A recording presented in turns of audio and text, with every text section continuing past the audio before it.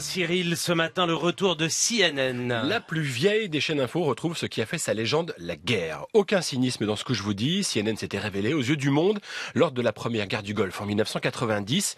Attaque aérienne, tir de missiles nocturnes, caméras embarquées avec les troupes américaines. Il y a 30 ans, la chaîne révolutionnait la manière de filmer un conflit armé. Avec l'attaque du Hamas, CNN a retrouvé ce qui a fait son ADN, couvrir la guerre comme personne. CNN est passé en breaking news permanent. Tous les sujets tournent autour de ce qui se passe au Proche-Orient. Et puis CNN a sorti ses stars. En studio à Atlanta, l'immense Christiane Amanpour, patronne des présentateurs des questions internationales. Depuis son arrivée à CNN en 89, Amanpour a tout fait, tout vu, tout couvert. C'est la journaliste des terrains de guerre du monde entier. Christiane Amanpour, c'est aussi la journaliste qui a refusé de porter un voile l'année dernière pour interviewer le président iranien. Du coup, elle s'est assise sur l'interview. Ça, Cyril, c'est pour le studio et sur le front. L'étoile montante de CNN, Clarissa Ward, 43 ans. Il y a deux ans, c'est en Afghanistan qu'elle s'est faite au moment du retour au pouvoir des talibans. Dans les rues de Kaboul, sous un hijab, Ward se taille la réputation d'une reporter badass, une casse-cou qui n'a peur de rien. Elle l'a encore montré ces derniers jours. Lundi, elle était proche de la frontière entre Israël et Gaza quand la journaliste et son équipe se sont retrouvés au milieu de tirs de roquettes. Tout le monde se jette sur le bord de la route, la caméra tourne évidemment.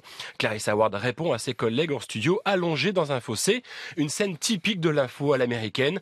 La séquence spectaculaire fait le tour des réseaux sociaux, une couverture qui plaît au tout nouveau patron de CNN, Mark Thompson, qui parle d'un travail fondamentalement excellent. Mais le problème, c'est qu'il n'a pas dit que, que ça. hein. Et non, en effet. Car si CNN a un nouveau boss, c'est que malgré ce que je viens de vous raconter, CNN va mal.